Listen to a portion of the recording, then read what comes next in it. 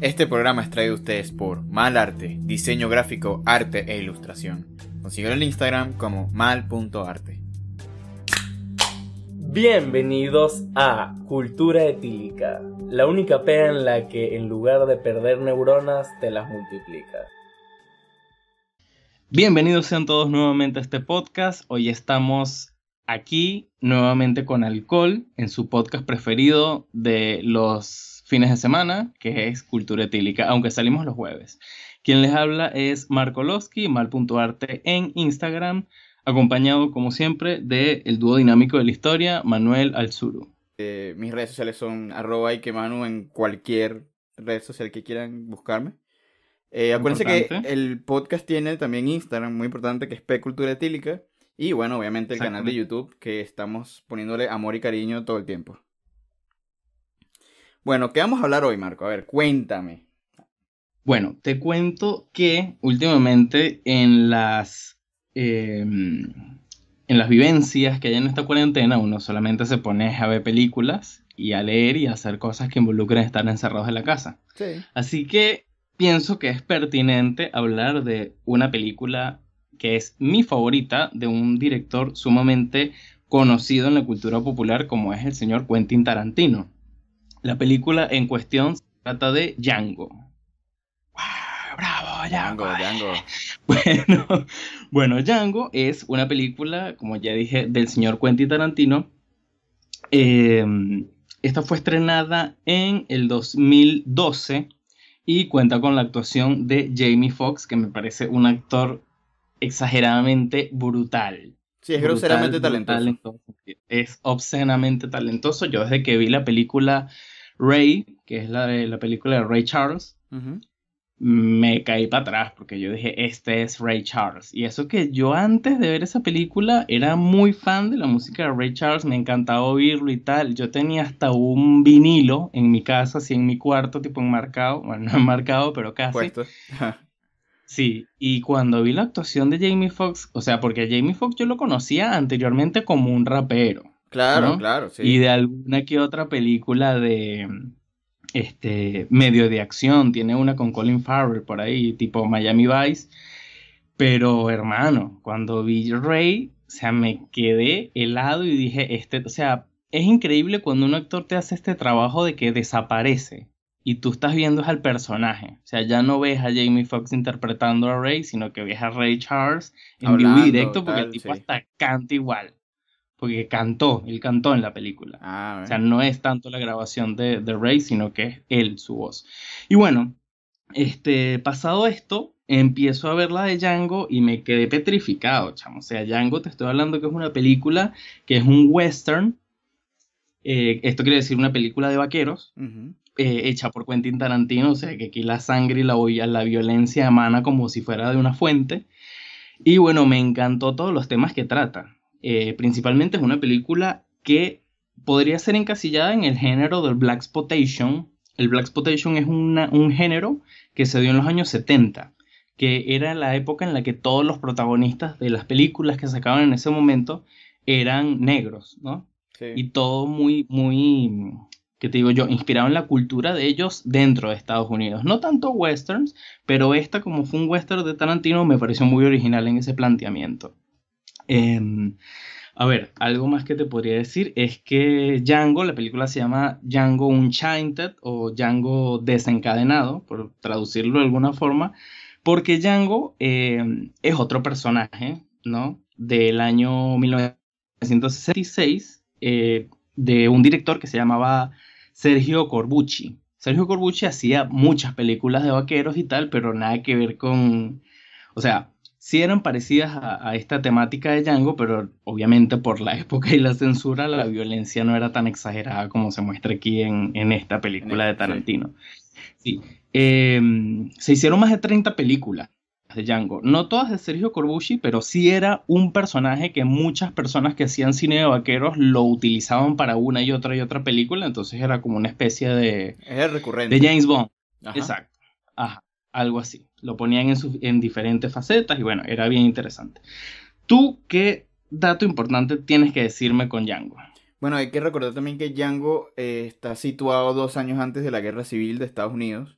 En donde evidentemente el apogeo por la por la esclavitud estaba al máximo. Es decir, eh, en ese momento, antes de la guerra civil, cualquier persona que tuviese una cantidad de tierras considerables, es decir, que tuviese dinero, eh, contaba con una, una cantidad de esclavos importantes. Entonces, hay que recordar que en esa época la vida en general de, de la gente de color, de los negros, pues, eh, estaba única y exclusivamente guiada a ser esclavo del blanco. Más o menos, para poner como una especie como de contexto, asqueroso. Pero es más o menos lo que está planteando la película en el, eh, para la época, ¿no? Entonces, lo interesante es cómo eh, esta película rompe un poco con el esquema porque Django lo liberan. La, cosa, la cosa es que no lo liberan tipo, a ah, vete. No, tipo lo liberan para una misión en específico. Que es ir a matar un poco de blancos, ¿no? Entonces. Sí. Lo interesante es justamente eso, que estamos viendo un, un, escenario en donde Django tiene completo poder de justiciero, si se puede decir de alguna manera, para liquidar a cualquier cantidad de personas sin tener ningún tipo de, ¿sabes? De, de, de, de remordimiento. Exacto. Claro. Pero evidentemente esta película también se divide en dos. Porque la otra parte de la película es una historia de amor súper bonita que tiene el tipo con su esposa, que la esposa y él los separaron. Porque evidentemente la esposa lo compra a otro tipo. Sí, porque en ese momento hasta firmas contrato para comprar esclavos. Eh, la compró otro tipo y el tipo y Django quiere ir a buscar a su esposa, o sea, porque tipo la quiero sacar de ese mundo asqueroso, porque es un mundo asqueroso. Sí, obvio, cualquiera, cualquiera querría eso. Obviamente, o sea, tengo que sacarla de ese mundo asqueroso porque en principio la amo y en segundo, o sea, todo eso está muy mal. Entonces, bueno, el tipo lo que hace es que se, se, va haciendo camino junto con el compañero que también, que de hecho es blanco, que eso, es lo, curioso de este tema, que lo libera un blanco para que lo ayude a matar más blancos. Eh, eh, se lo Pero lleva... ahí... Ajá. Ajá, bueno, Sí, sí, sigue, perdón. Luego, termino de hablar. Sí, sigue tú. No, bueno, que se lo lleva y el tipo se tiene que ir haciendo camino para, para empezar a entender cómo es el negocio real en el que se está metiendo, porque tampoco es como que te libero y vamos a matar gente, sino bueno, que tú eres un tipo de sicario, pero funciona, funciona, de esta manera, claro. Lo que pasa es que, bueno, cuando todo transcurre y el tipo termina quedando solo, tiene que seguir con el negocio porque tiene que buscar a su esposa. Claro. ahí entramos ya un poco más en, en, materia de la película como tal. ¿Qué me ibas a decir? Fíjate que este es una, algo interesante que plantea Tarantino, por lo menos en este personaje que es el, este alemán que, eh, rescata a Django, o lo compra mejor dicho, pero lo, emplea como ayudante de sicario, eh, lo usa como un ayudante para realizar sus tareas, pero siempre te plantea esa dualidad de que no por ser blanco tú eres racista, no, o sea, no quiere decir que seas racista especialmente porque este era un tipo que cero que con el racismo. De hecho, era, este, veía a Django como un igual, solo que estaba consciente de la situación histórica en la que estaba viviendo. Y necesitaba que él fuera un esclavo. Fue, Exactamente. Entonces, bueno, le, no es que le permitía cosas, sino que, bueno, lo, o sea, le, lo dejaba montar a caballo con él, o sea, lo ayudaba más bien a buscar a la esposa y a rescatarla, cosa que es lo que se desarrolla gran parte de la película. Pero eh, me gusta mucho este planteamiento que hace Tarantino de eh, ver la venganza y la brutalidad desde una óptica en la que no es incómodo para el espectador. Quiero decir, hay, la gran mayoría de la película sí muestra una violencia incómoda. Pero ¿qué pasa? Que la, la, la mayor, el mayor foco de violencia se trata de matar a alguien que todo el mundo podría odiar, en este caso un esclavista, o en el caso de otras películas de Tarantino como Bastardo sin Gloria, es matar a Hitler, o sea, ¿quién puede sentir lástima o piedad por Hitler? Fue un tipo que mató un montón de gente y que lo mejor que tú puedes hacer por la humanidad es matarlo. Esto pasa también con, con Leonardo DiCaprio, que hace de Candy ahí. O sea, él era el esclavista más malo de todo. O sea, por Dios, si, ese personaje en algún momento de la película te dicen el diablo, tú te lo crees y no te sorprendes, porque la actuación es tan luciferiana, no sé, por poner algún término, que el tipo es tan malo, tan malo, tan malo, que sí, es, parece el diablo prácticamente. Entonces, por eso no. Ese es el momento en el que Tarantino hace que tú veas la violencia como algo que, ah, pero no es tan malo. ¿Ves? Te está justificando la violencia por medio de eh, una justicia social, digamos de alguna manera. Es decir, el tipo es un desastre, es un, es un, o sea, te está planteando totalmente lo contrario a lo que tú ves en tanto en ese momento que salió la película como todavía, como una, como una desgracia de persona porque es una esclavista y no solamente una esclavista, sino uno de los peores esclavistas que te pueden plantear en, una película, tú evidentemente eh, como que enfatizas más en querer que lo maten, en estar pendiente de, ah, esta película es pura sangre y tiros. O sea, más bien estás pendiente de, eh, de, querer este, comprender al personaje de Django más que al personaje del esclavista. Por más que tú digas, coño, lo quieren matar y que lo quieran matar está mal porque la violencia está mal. O sea, puede que sí quieras que no lo maten por X o Y razón en algún momento de la película, que sería muy extraño, pero bueno, hay público para todo de todas maneras te está planteando una situación súper complicada porque el tipo te está diciendo como que, mira, ¿sabes? Te tengo que matar y te vas a morir porque pues eres de lo peor que puede pasar en el mundo, estás personificado. Y hay que matarte, pues. Y aún peor, o sea, y la cosa se, se pone peor cuando ese tipo es el que tiene la esposa de Django. Ahí es donde Tarantino te la juega de tal manera que tú dices, claro que la venganza está bien. ¿Me entiendes? Si tú seas una persona con una moralidad, no sé, de oro, inquebrantable y tal, te juega la trama de tal manera que tú dices, sí, ese tipo hay que matarlo, hay que destruirlo y tal, por el bien de todos. Fíjate ese planteamiento tan genial que te está haciendo Tarantino ahí. O sea, ¿hasta qué punto eh, funciona esto de que la venganza está mal? ¿Ves? O sea, ese me parece a mí como la gran reflexión que plantea él. Claro, como te digo, te juega con, toda la parte experiencial de la, del, de la gama de sentimientos que puedes tener durante el tiempo que dura la película. Y, es, y peor aún cuando, ¿tú te acuerdas la escena en donde agarran a la esposa de Django y la lanzan al, al, al, al hoyo?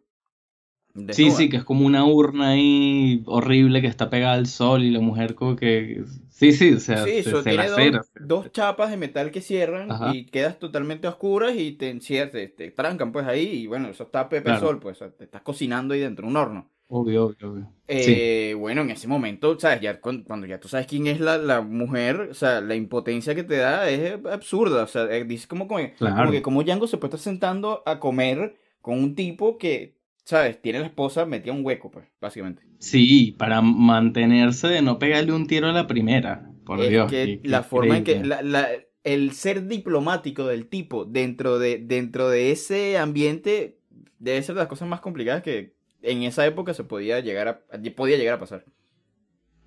Sí, la verdad que sí. a mí me pareció una película brutal, todo está manejado excelente, el casting es, o sea, obscenamente bueno hasta Tarantino actúa ahí, no sé si te diste cuenta en una escena que sale. Y otra escena que también me encantó es este, la parte donde está en el Ku Klux Klan. Esa parte me pareció increíble porque me encanta eh, que, te, que te sorprendan. O sea, Tarantino constantemente está sorprendiéndote en una parte. Cuando él presenta al Ku Klux Klan en la película, que históricamente el Ku Klux Klan es hermano, o sea, si hay algo más malo que el Ku Klux Klan, no sé, en por lo menos en la historia de Estados Unidos. Claro. Entonces, fíjate, los pone como unos imbéciles, pero unos imbéciles, o sea, absolutamente imbéciles, por Dios. Mm. Pero te da hasta risa la manera como, como actúan y como se burlan de ellos mismos y que le dice, ay, esta máscara la tejió mi, mi esposa. O sea, que se notaban que eran unos tipos que se la dan de malo, pero eran como que unos pobres huevones que la mitad eran, no sé, banqueros y la otra mitad eran, qué sé yo, este, dueños de negocios ahí, pero querían espantar y matar negros y tal, pero bueno, nada no, no dejaban de ser unos idiotas. Eso me, pareció excelente la manera como lo trabaja Tarantino acá. Total. Eh, Samuel Jackson también hace una actuación, o sea, tan camaleónica, porque yo ni me daba cuenta de que era Samuel Jackson. Y eso es lo que hace que sea un buen actor, que el papel es antipático y te genera antipatía, pero de la peor. Pero a mí me parece increíble es la manera en cómo él actúa de viejo.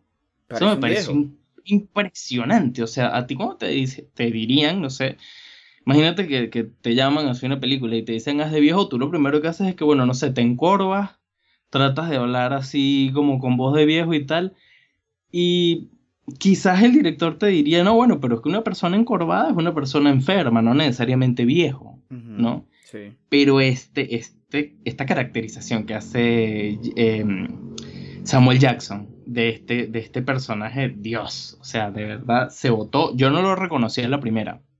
Pasó, pasó bastante parte de la escena cuando yo dije, mierda, este tipo es Samuel Jackson, estará tan viejo, dije yo. Y no, resulta que no, el tipo simplemente es obscenamente profesional como actor y bueno, te convence entre cada motherfucker que dice. Claro, claro, te compran, te compran con el papel completamente. Es increíble, increíble, increíble. A ver, ¿qué otro dato me cuentas acerca de esta película? Puede ser cómo la viste o, o sea, cómo, llegó a ti, la fuiste a ver al cine, no yo no, yo no, es raro, yo, mi papá siempre me había dicho que era una muy buena película, yo no la había visto para nada, o sea, nunca me había pasado la posibilidad, o hubiese tenido la, tuve la posibilidad de, verla por mi, por mi cuenta, pero cuando estaba en cine ni le presté atención. Sí. Y cuando fui a Chile a visitarlo, me encuentro, me encuentro un día, tipo, pasando canales, mi papá tiene un televisor con, con, con cable. Cine en casa. Ajá. Está dando así vueltas por todos los canales y de pronto la pasan y mi papá dice, déjala. Y yo, tipo, no tenía ni idea de qué era, o sea, tipo, no estaba, la escena no estaba Django, era que sí, desierto. Y qué sé yo, se veían que sí caballos. Mi papá como que déjala que eso es Django. Y yo, tipo, verga. grabados así cada fotograma de la película en su mente. Casi, y yo dije, ok, y literalmente lo agarré que sí al segundo, el, segundo cuadro, una cosa así, o sea, la vi desde el principio. Pues. Y nada, cuando la empiezo a ver, yo no entendía, yo en principio, obviamente, como no iba a ver la película, yo no entendía qué estaba viendo. O sea, yo no sabía de, cuál era el contexto de la película, ni absolutamente nada. No, ni siquiera sabía de quién era el director, o sea, nada. Yo me quedo viendo la vaina. Y chamo, cuando empieza la película a mostrarte todo el, cúmulo de cosas que te, va abriendo el abanico de la realidad del mundo en ese momento, la realidad de Django, la realidad de los blancos, negros, esclavos. Entonces como que, ah, pero mira, ok, tremenda película. Y luego sí, me pasó exactamente lo mismo. Cuando sale Samuel Jackson, yo no estaba claro quién era. O sea, hasta que de pronto, no, no recuerdo que, no sé si fue un, plano en perfil o un, o un diálogo, no estoy seguro pero sé que algo pasó que yo dije, mira, este tipo, mi papá me dice, sí, claro. Y yo tipo, verga. Y yo le digo, ahí, pregunta siguiente, ¿qué año es esta película? Claro. Pues como, o sea, tiene, yo dije lo mismo, o sea, es muy viejo, tiene que ser una película como más, o sea, tipo, no sé, el año pasado, pero imposible porque la película ya me la habían dicho hace mucho tiempo, o sea, no puede ser. Y nada, o sea, el tipo, una excelente actuación bestial. Otra de las cosas que, que, te iba a comentar que me llamó poderosamente la atención en la película viene justamente porque yo cuando estaba, cuando estaba en Buenos Aires vi un, seminario de, de, filosofía. Entonces, en ese seminario nos, hay, hubo un momento en donde hablamos justamente del tema de la esclavitud, pero ¿por qué? Porque hablamos de la libertad. O sea, cuando empezamos a hablar, cuando el profesor habló y nos preguntó, eh, para ti, ¿qué es la libertad? ¿Qué es ser libre? ¿No? Eh, es una pregunta súper complicada de responder y súper ambigua también, la respuesta. Claro, porque parece superficial, pero no lo es. No, y además no solamente superficial, sino que parece una respuesta sencilla. O sea, a ti te preguntan qué es ser libre y tú, bueno, que nadie te mande. Pero es como, no, no, o sea, no funciona la siguiente así, porque pues un presidente te, te, te, manda, de, quieras o no. Unas leyes gubernamentales te mandan, quieras o no. Hasta el mismo presidente recibe órdenes. Evidentemente, y, y, si vamos a escalas más pequeñas, si tú eres niño, pues tu mamá y tu papá te ponen todas las reglas con las que tú vas a hacer todo. Luego vas al colegio y te enseñan todo lo que se supone que tienes que aprender, o sea que también te, te adoctrinan, pues, o sea, como que el tema de, de, libertad de yo puedo hacer todo lo que me dé la gana no es tan así. O sea, entiendo. No estoy diciendo que no, no, no, no exista libertad sí es un concepto bastante utópico, porque si estamos hablando de libertad plena, completamente plena y libre, o sea, no sé, los animales de la selva, qué sé yo. Ni siquiera. no sé, o menos que tú vivas en una porque en la selva también los animales tienen de sus propias reglas y sus propias formas de convivir entre ellos, pues si no, no existiría un carajo, ¿no? Cierto.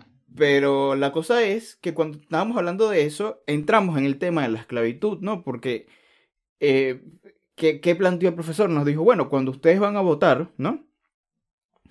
Ustedes escogen quién los va a gobernar. O sea, es decir, ustedes escogen quién va a ser la persona que los va, sí, a, Que te va a mandar, básicamente. Exacto, que te va a decir tipo, mira, esta obra va a ser de la siguiente manera.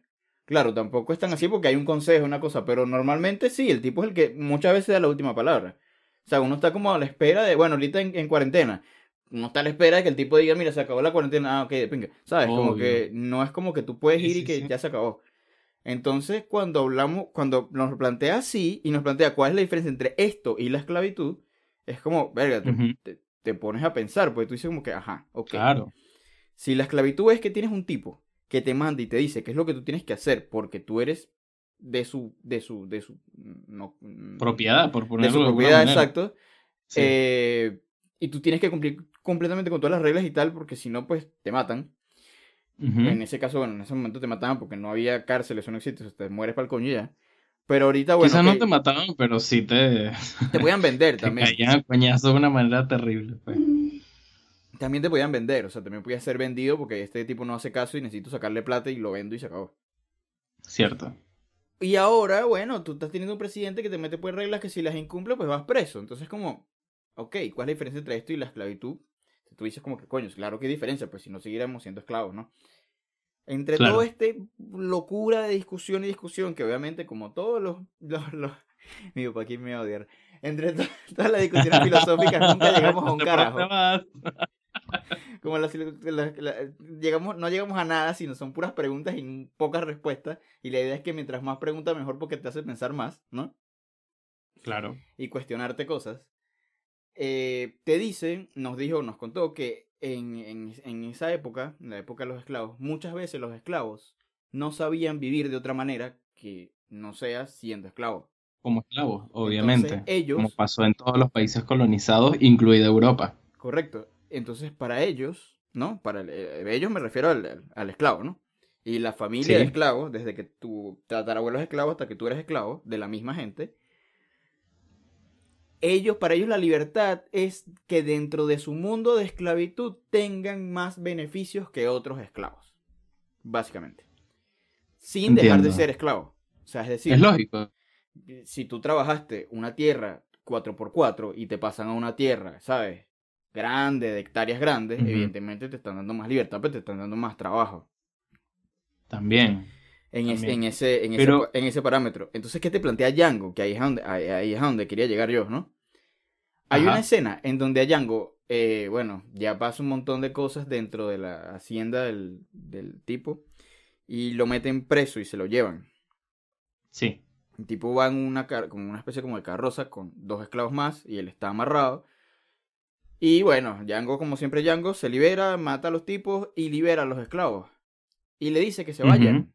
O sea, que se vayan, son libres. O sea, tipo, ya está. O sea, no tienes por qué ir a, a donde ibas al, a donde te iban a llevar. exacto, que un blanco que te iba a maltratar y te iba a mantener en una tierra, te iba a tener como una teja pegándote sol, o sea, tipo, te puedes ir. Claro. O sea, tienes el mundo entero para recorrer. Hay dos caballos, yo me llevo uno, ustedes son dos, váyanse en el otro. O sea, váyanse en una dirección de allá agua para que el caballo, ¿sabes? Sí, sí, como que le planteó una, una vida fuera de lo ya establecido.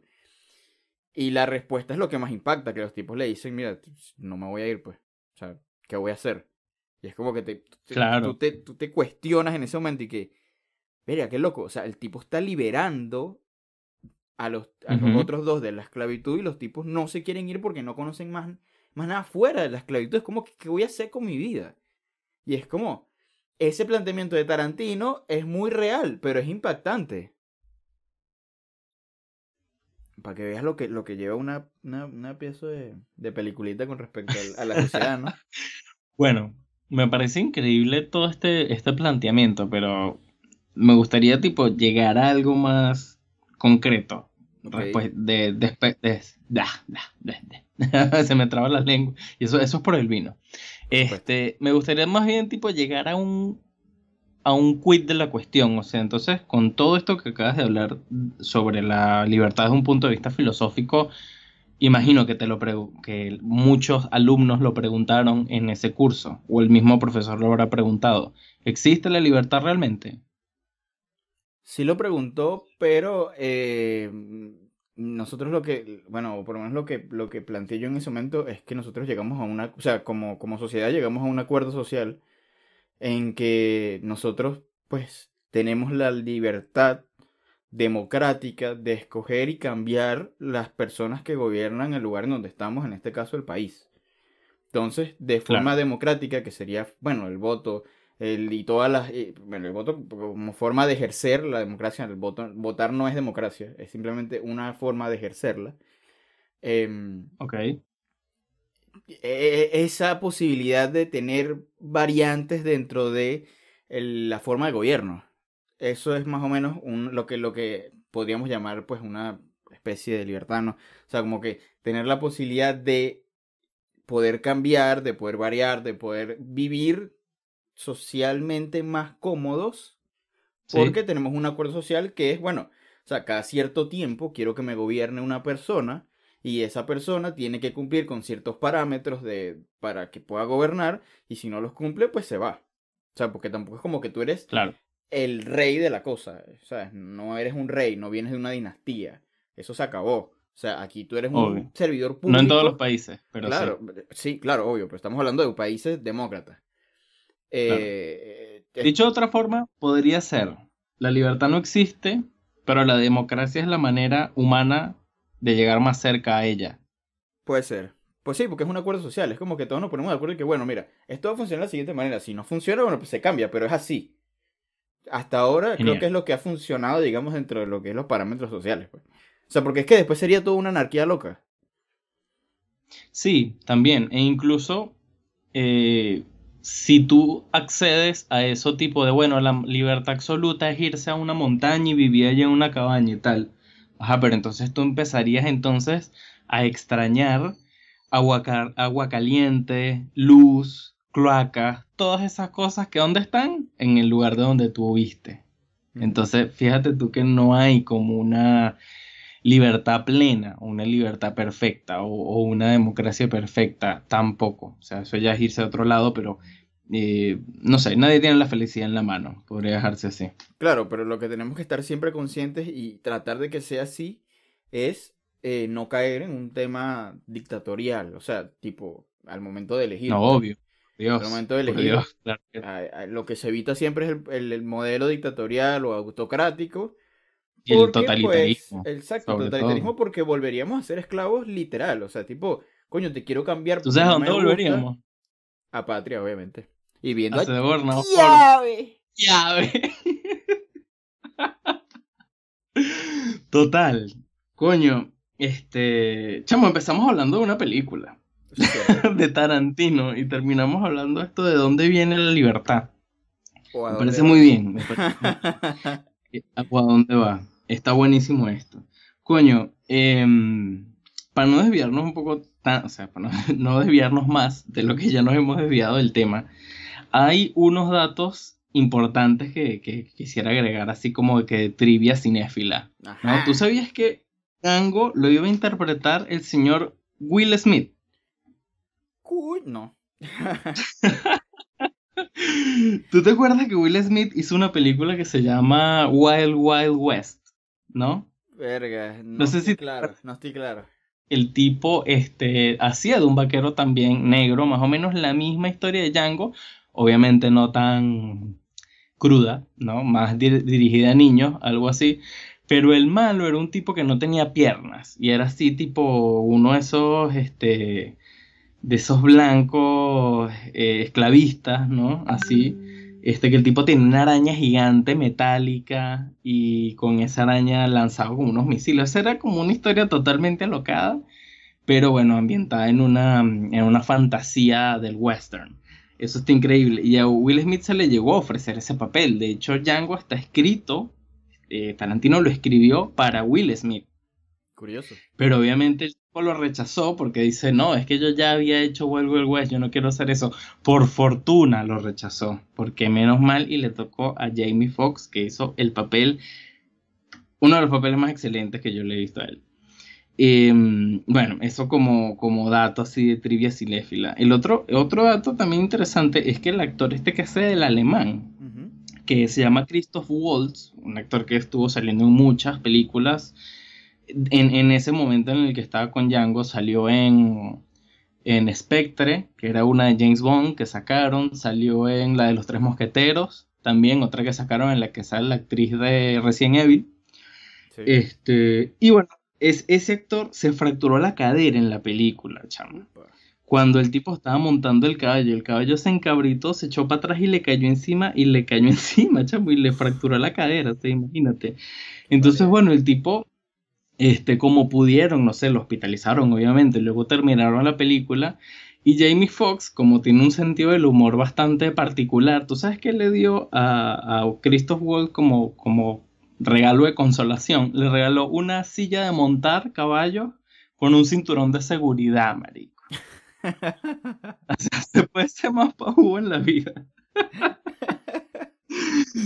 eso yo se lo hago a alguien y, y la mentada de madre no es normal. o sea. Obviamente que no. De verdad que es terrible esto, por Dios, qué, qué humor tiene el señor Jamie Foxx. Que además, otro, otro dato interesante que te tengo aquí de Jamie Foxx es que el caballo que él usa durante toda la película es un caballo que es de él. O sea, él, él le pertenece a ese caballo.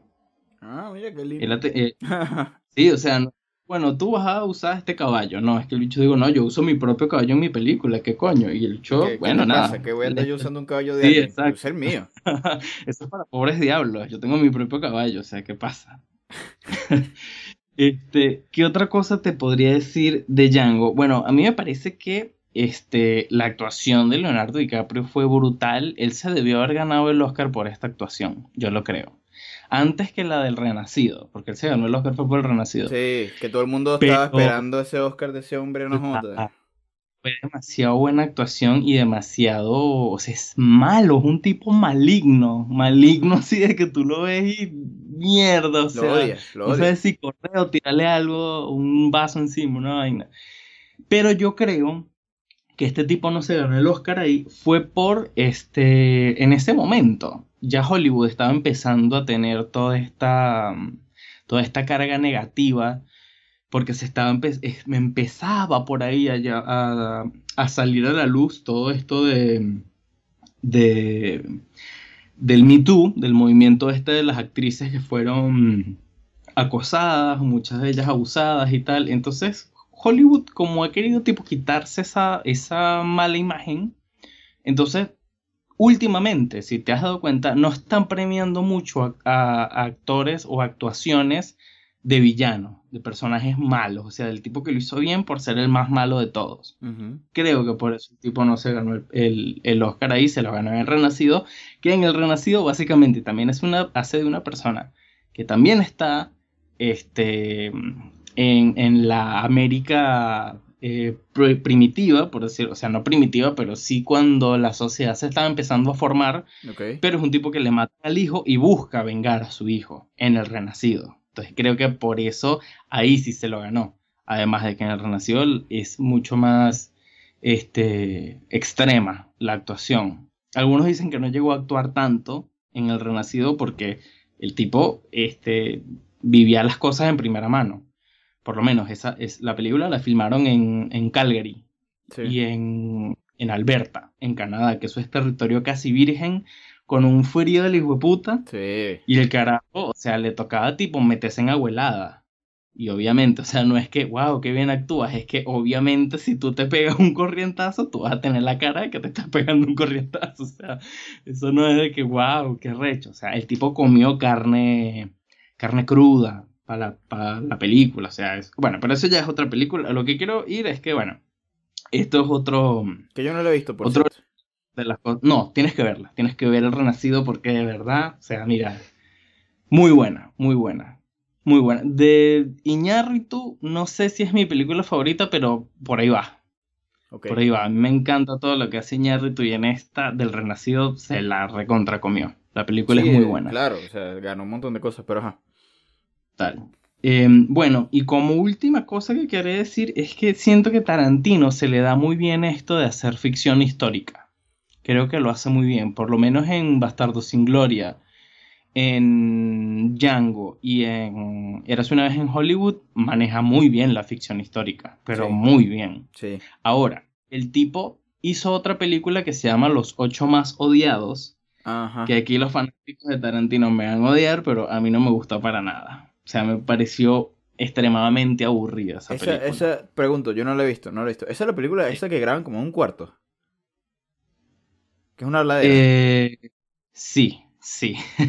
ya cuando viste lo de la habladera te dije sí, sí. O sea, en esa película, esa película dura como tres horas y pico, ¿no? Ajá, sí, estoy claro. Hay una escena que dura una hora.